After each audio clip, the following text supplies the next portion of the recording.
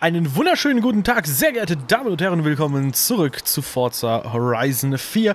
Es geht an den Start mit äh, erstmal sehr, sehr vielen Super Wheel Spins und ähm, das ist unsere treue Belohnung, weil wir die letzten Forza-Teile gespielt haben.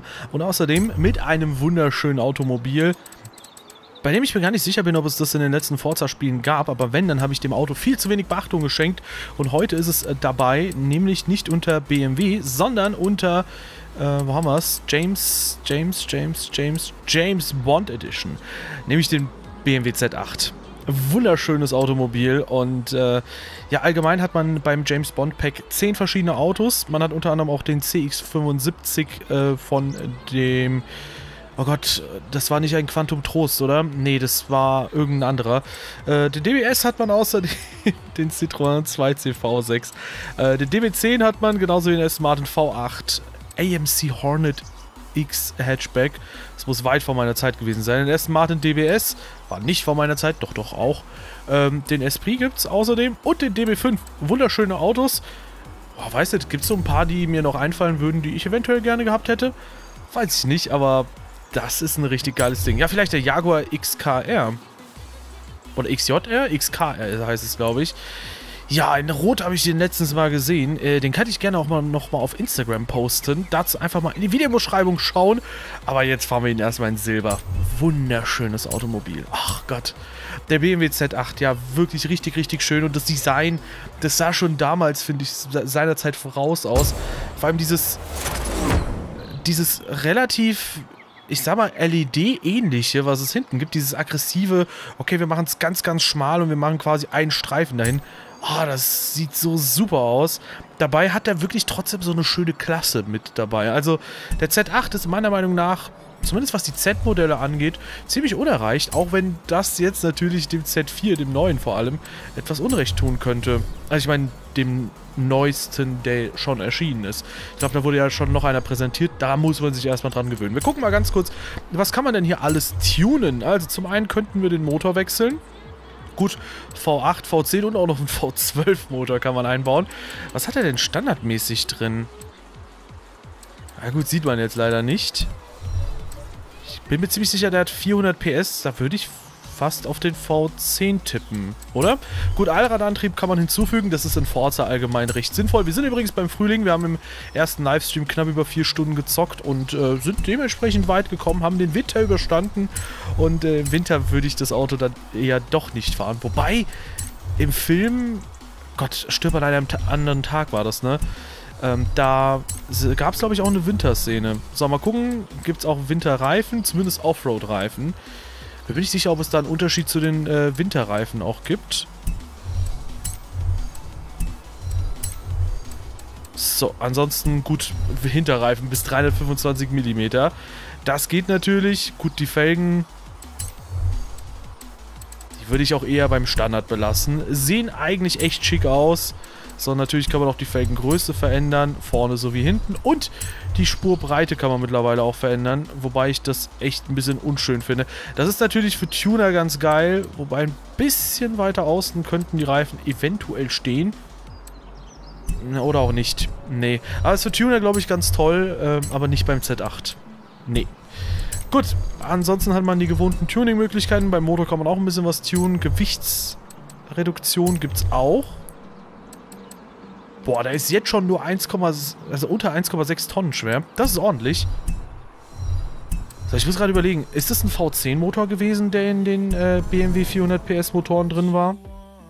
So, BMW Z8. Muss ich mal ganz kurz schauen, sorry. Gut, ansonsten gucke ich mal ganz kurz. Sechs Super Wheel Spins. Wir machen erstmal den normalen Wheel Spin. So, ich check nochmal. 5 Liter, 400 PS, ja. Oh, Audi S1, schön. Gut, und Super Wheel Spin.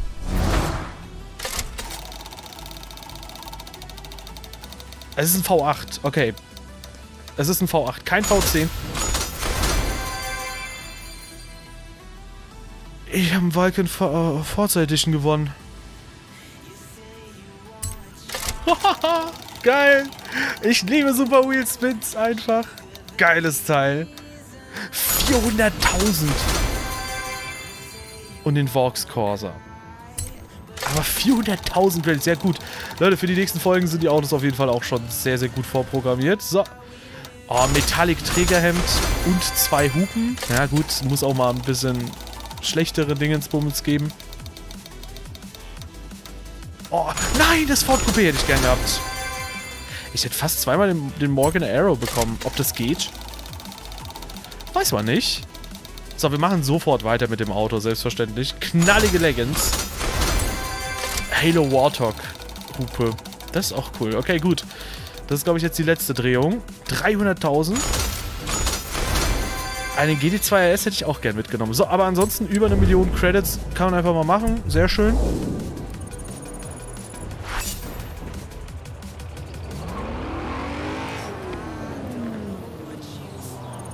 Habe ich gerade wieder einen Super Wheel Spin bekommen? So, ansonsten... Ja, komm du mit deinem ollen Golf. So, aber Turnbrett ist sehr interessant. Wir können mal ganz kurz in den... Gibt es den Fotomodus noch? Ich weiß, wie ich in den Fotomodus käme. Okay, tatsächlich habe ich nochmal einen Super Wheel Spin bekommen. Aber im Drohnenmodus kann man den sich mal genauer anschauen. Ja, wunderschönes Teil. Wie gesagt, die Rückleuchten finde ich toll. Boah. War das ja durch mich durchgefahren? Ja, ansonsten auch die Frontpartie. Die sieht schön aggressiv aus. Die sieht ein bisschen füllig aus tatsächlich auch. Also deswegen hätte ich, deswegen war ich auch ein bisschen verwundert, dass er weniger als 1,6 Tonnen wiegt. Aber sehr schick sieht er auf jeden Fall aus. Gut, und das Design, in, ich würde mal sagen, ziemlich einzigartig. Eventuell ein bisschen störend, wenn das Armaturenbrett in der Mitte ist. Vielleicht. Bin mir da nicht so sicher. Und der Sound. Oh, der blubbert so schön, ne? Ah, toll. So, dann äh, setzen wir uns direkt auch mal einen Wegpunkt und fahren auch mal ein schönes Rennen mit dem Teil. So, und ich würde sagen, noch ein ganz, ganz kurzer Super Wheel Spin. Wenn wir schon einen bekommen, dann sollen wir den auch nutzen. Aber man kann es auch überspringen, okay.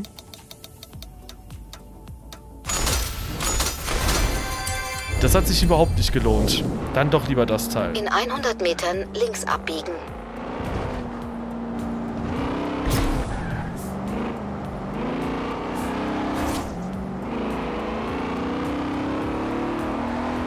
Ja, eventuell äh, kann ich auch mal ganz kurz sagen, wie denn so die ersten Eindrücke sind nach ungefähr ja, knapp über vier Stunden. Ich bin sehr angetan vom Spiel. Ich habe es auch schon im Livestream gesagt, mir gefällt sehr... Oh nein. 400 Metern links abbiegen. Zum Glück habe ich das Schadensmodell ausgestellt bei dem Auto. Mir gefällt die Welt sehr schön. Also, die hat sehr viel Charakter, die Welt, wie sie gestaltet ist. Die Fahrzeugauswahl ist ziemlich ordentlich. Und ja gut, ansonsten hat es halt die Stärken, die Forza Horizon hat, würde ich sagen. Das Offroad-Fahrverhalten hat sich deutlich verbessert, bevor ich das übergehe. Obwohl es eigentlich auch schon vor, zuvor ziemlich nett war. Und jetzt ist es halt gut. Und was die Beleuchtung angeht, da hat sich das Spiel wirklich deutlich verbessert. Okay, die Straßenreifen bieten keinen Grip, gefühlt. Ah, ich, wir fahren ein Rennen und dann tunen wir das Auto nochmal und dann fahren wir noch ein Rennen. Gucken mal, wie sich die Performance von dem Auto insgesamt verändern kann. Noch ist es ein perfektes Auto zum Cruisen. Wartet mal ab. Ja, und was ich auch bei Forza Horizon machen werde, tendenziell, es sei denn, es geht. Es sei denn, es geht wirklich auf Autos zu, bei denen du die Maximalperformance rauskitzeln willst, so einem Lamborghini Centenario oder so. Ähm, ich werde abbiegen. wahrscheinlich die Standardmotoren drin behalten, weil sonst einige Leute, den Antrieb werde ich wahrscheinlich wechseln. Also da mache ich mir keine Illusionen. Allradantrieb muss ab einer gewissen Leistung sein oder eine Traktionskontrolle. Ich entscheide mich dann lieber für den Allradantrieb.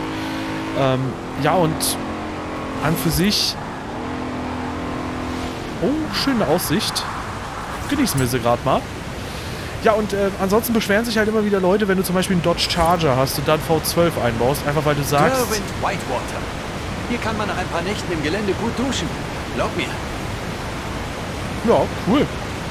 Ja, obwohl du halt sagst, ja Leute, ich mache das jetzt nur, damit wir die maximale Performance aus dem Auto rauskitzeln können und trotzdem sagen Leute, ja, aber sowas macht man mit einem Dodge Charger nicht.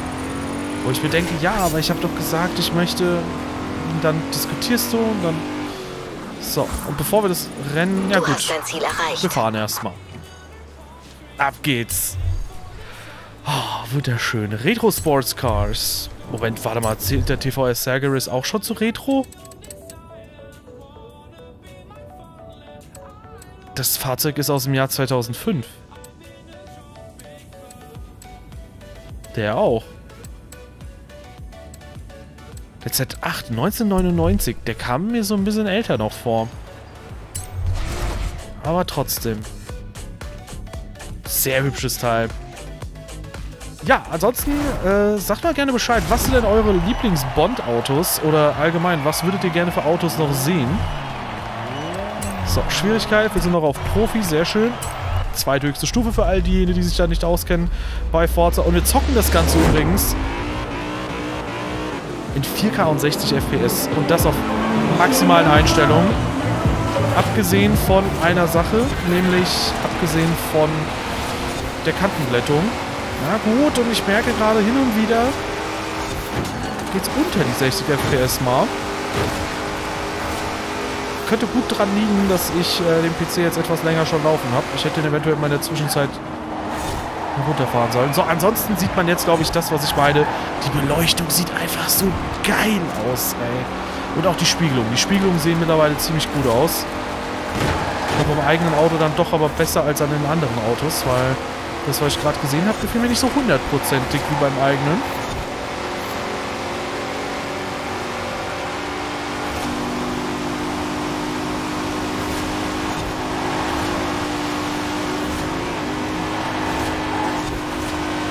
Nice, ein MX-5 fährt hier mit.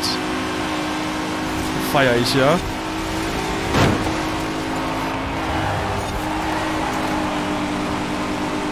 So, ab geht's. Wir kommen immer näher. Hey. Da macht er die Tür zu. Boah, doch. Leicht rutschig, aber... Uh, der Skyline. Der sieht ja richtig gut aus.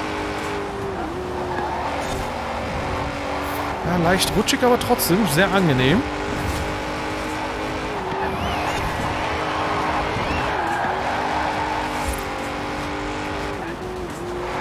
Und auch wenn es so leicht quer ging, ich habe nicht so wirklich das Gefühl, dass man mit dem so ein wahnsinniges Übersteuern oder halt Untersteuern hat. Untersteuern hätte ich bei dem BMW eh nicht befürchtet.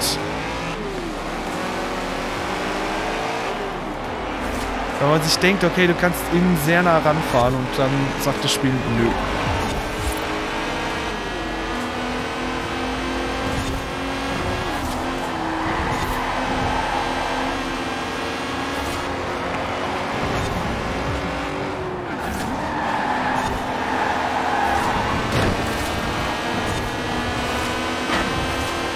Ja, komm schon. Innen vorbei. Das hat mir einmal Pech gebracht, aber jetzt aufs Podium. Oder vielleicht sogar noch weiter. P2 ist drin. Das war auch Podium, aber besseres Podium als P3. Ja. Ah, doch ziemlich ordentlich. So, wenn man das... Äh, warum kommt jetzt wieder Musik? Ich verstehe ich nicht. Und irgendwie... Keine Ahnung. Ich habe auch vom Ray gehört, dass der Streamer-Modus auch nicht so wirklich funktioniert, deswegen mache ich die Musik gleich aus. So, kannst du bitte aufhören, Musik abzuspielen, Spiel? Das wäre nett. Das wäre sehr, sehr nett. Eventuell mute ich diesen Part. So. Na los, komm. Ich mute den Part auf jeden Fall. So, wir haben Hyundai bekommen, sehr schön. Willkommen in Runde 5 der Horizon Straßenrennserie. Hier hast du es mit neuen Rennstandards auf sämtlichen Ebenen zu tun. Aber genau deshalb bist du natürlich hier. Ja klar. Wir wollen ein paar schöne Rennen fahren. Wir wollen aber insbesondere auch schöne Autos beobachten. Wo sind wir eigentlich auf der Map? Da, ganz im Süden. Haben wir hier irgendwo... Ah ja, hier haben wir unsere Bude. Bei nächster Gelegenheit wenden.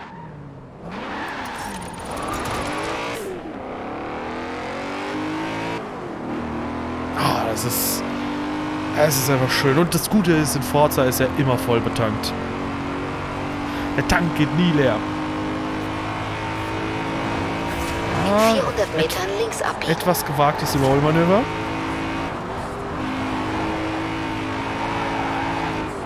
Links abbiegen. So, wir sind, glaube ich, bei 294 Kilowatt Leistung. 400 entspricht das, äh, also es entspricht 400 In PS. 400 Metern links abbiegen. Tut mir leid, es war ein langer Tag.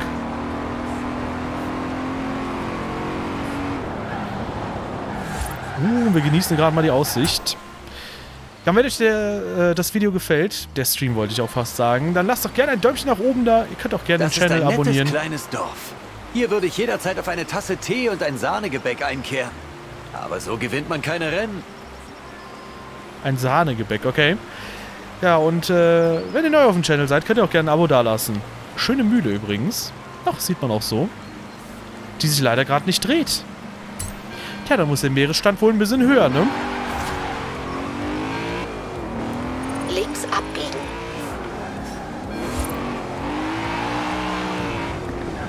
Oh, jetzt wird er aber auch schon ein bisschen unruhig hier und hin und wieder. Also in, aus ganz, ganz langsamen Kurven heraus wird er ein bisschen unruhiger. Kann natürlich auch behoben werden, indem man bessere Reifen zum Beispiel hat, eine bessere Aufhängung. Könnte durch viele Faktoren behoben werden. So, Upgrades und Tuning.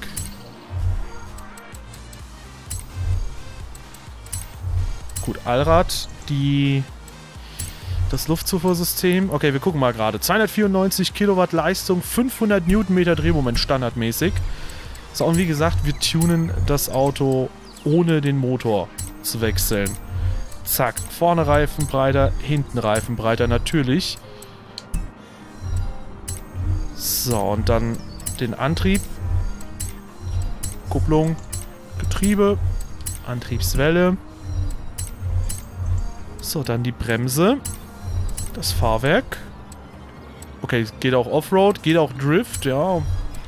Nehmen wir das Rennfahrwerk. Stabilisatoren. Hat was, ne, eigentlich, aber... Ja, lass ich trotzdem mal aus. 821 Pünktchen hat er jetzt. So, und jetzt gucken wir mal. Also, Gewichtsreduktion, wir sind, glaube ich, um knapp 300 Kilo runter. Und jetzt kommt die Leistung. Ja, wir lassen uns mal am Ende so ein bisschen überraschen, wie weit es nach oben geht, oder? Würde ich schon sagen. Oh, die Kurbelwelle. Das bringt immer enorm was. Über 50 Kilowatt. 20 Newtonmeter Drehmoment. Also, heieiei.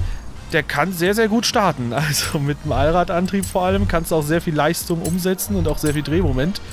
Und Halleluja, der wird jetzt abgehen. So, und am Ende noch die Schwungscheibe. Die bringt zwar keine Leistung, aber die reduziert unter anderem so ein bisschen das Gewicht. Und wir sind bei 437 Kilowatt Leistung mal 1,3. Momente, 670 Newtonmeter Drehmoment auf jeden Fall. 440 mal 1,3, das sind 570 PS ungefähr, die der hat. Das ist noch recht human, ne? Da braucht man nicht unbedingt den Allradantrieb, aber man kann ihn trotzdem einbauen. Machen wir. Oh, jetzt bin ich mal gespannt auf das Teil. So, einen neuen Auspuff haben wir, das heißt, der Sound dürfte eigentlich anders sein. Trotzdem, der dürfte relativ kernig noch klingen, oder?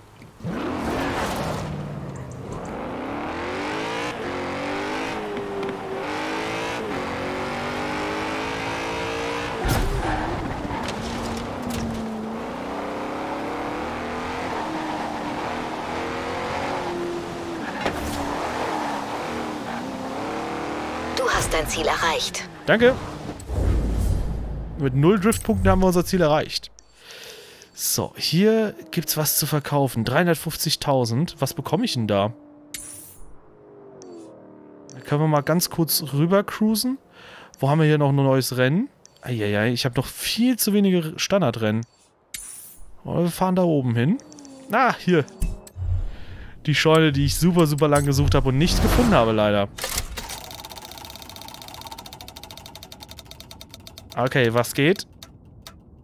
Ah, immer ein T-Shirt. Ist auch okay.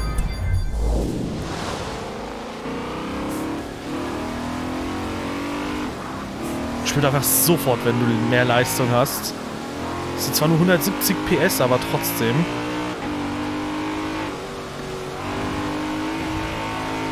400 Metern links abbiegen.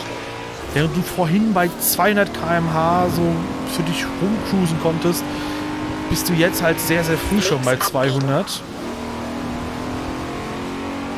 Geht's auch relativ flott in die Richtung. Ja, was denn eigentlich? 220, 250, 300?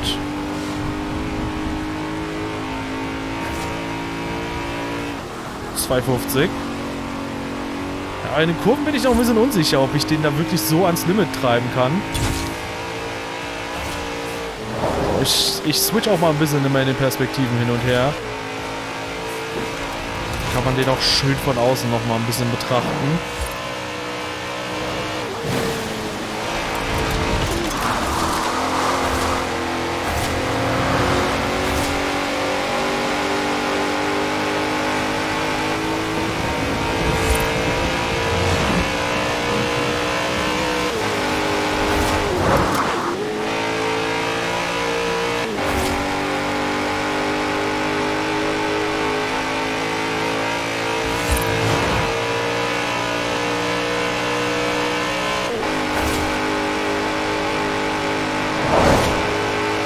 In 400 Metern rechts abbiegen. Rechts abbiegen.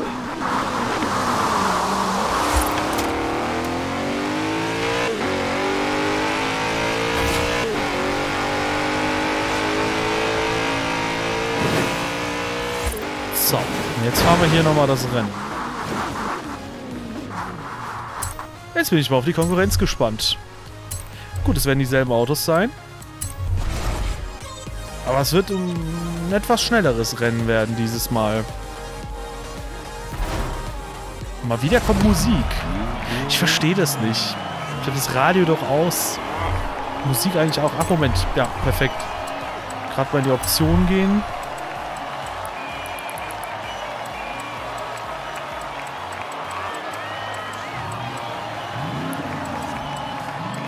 GPS-Stimme mache ich auch mal aus. Streamer-Modus an. Habe ich, glaube ich, jetzt schon mehrmals gemacht und der ist immer wieder ausgegangen. Wie auch immer.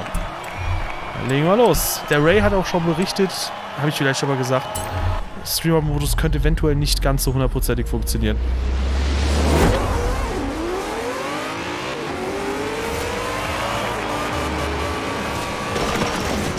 Alter, was hat der? Hat er einen Wankelmotor drin oder was?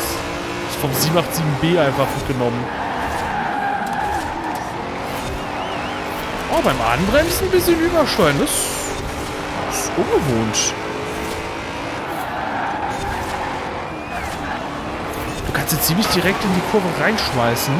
Das gefällt mir. Und der Nissan Skyline.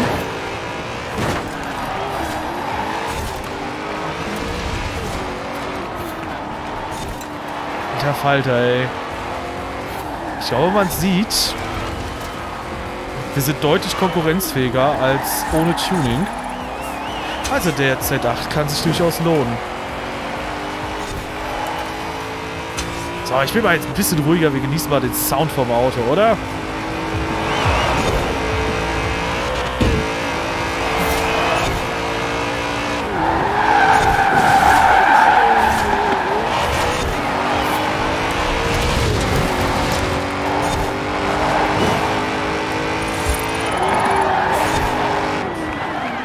Da bin ich leicht an den Analogstick gekommen und ja. Gut, da nutze ich mal einen Rückspuler. Ich habe mal einen Checkpoint verpasst. Alles andere macht keinen Sinn. Ach, wobei du wirst halt zurückgesetzt. Ja, stimmt. Gut, theoretisch macht schon Sinn, aber... Das ist trotzdem zu nervig. Gut, da genießen wir den Sound vom Auto nochmal ab jetzt.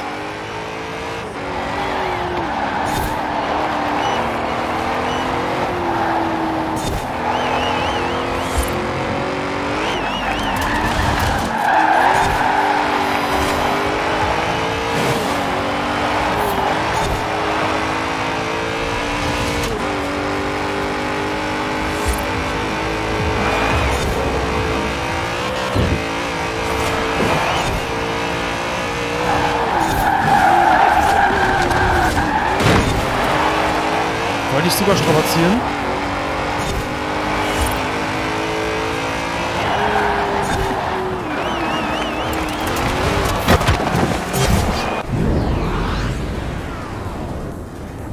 Tut mir leid. Anscheinend mag ich es in der Kurve sehr, sehr früh und sehr stark schon nach links zu lenken.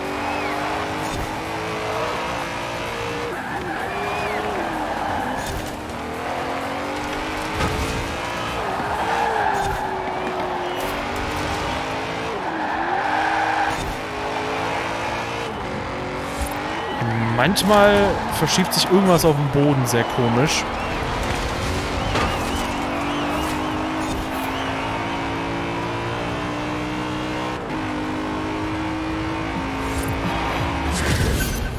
Nice. Oh, der ist auch so schön tief, ne?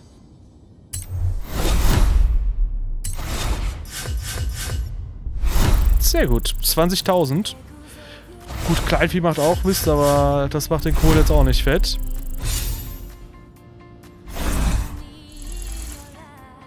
Ja, wir sind kurz davor, nochmal eine weitere Stufe aufzusteigen. Und auch hier Frühlingsschaurennen. Aha.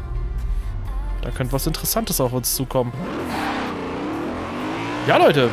Oh, mit diesen Bildern am Abend vom BMW Z8 und ich nutze hier den Rückspuleffekt eigentlich beabsichtigt, weil... Moment mal. Ganz kurz. Geht es nicht, weil damit kannst du tatsächlich in den Fotomodus kommen.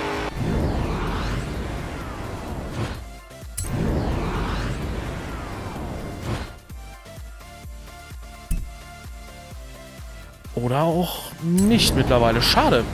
Ja gut, dann gehen wir nochmal in den Drohnenmodus, schauen uns das Auto von außen nochmal an. Also ein wunderschönes Automobil, der BMW Z8. Sehr, sehr schickes Teil. Ein absoluter Klassiker und äh, wir haben auf der Weltkarte irgendein Ereignis. Aha. Das ist das Aktivitätsfenster. Hier findest du Veranstaltungen und Aktivitäten und kannst ihnen und anderen Fahrern beitreten. Nee, danke. Nee, sorry, aber äh, weißt du, ich zock dann einfach gerne mal für mich sowas. Ja, aber das, meine Lieben, ist der BMW Z8. Und an der Stelle kann ich nochmal sagen, wenn euch diese, dieses Video gefallen hat, dann lasst ihm gerne einen Daumen nach oben da. Ansonsten gerne auch eure Meinung zu diesem wunderschönen Automobil in den Kommentaren. Und wir sehen uns dann beim nächsten Mal wieder. Und wenn ihr neu auf dem Channel seid um nichts weiteres zu verpassen. Haut ein Abo raus und wir sehen uns beim nächsten Mal wieder. Haut rein! Moment. Fast hätte ich vergessen, dass äh, wir noch im Forza Vista ein paar coole Sachen untersuchen können. Es handelt sich ja um ein James Bond Auto und das ist zu Recht nicht bei BMW drin. Und äh, wir haben hier einen Bug, wo wir kriechen. Deswegen steigen wir mal ganz, ganz kurz ins Auto ein, damit wir nicht mehr kriechen danach. Und zack, was können wir alles machen? Ihr seht, wir haben kein richtiges BMW-Logo hier. Wir machen das Auto gerade mal an. Wie konnte ich das nur vergessen? So, und jetzt zack. Uh, wir haben ein bisschen was am Lenkrad. Das ist auf jeden Fall ziemlich, ziemlich cool. Und ich zeige euch mal das weitere. Hey, ich will raus. Ein weiteres James Bond Gadget. Wir können den Kofferraum aufmachen. Nein, Moment. Wir können den, äh, die Motorhaube aufmachen. Nee, das war es auch nicht. Das Licht vielleicht? Nee. Aber das... Super geil.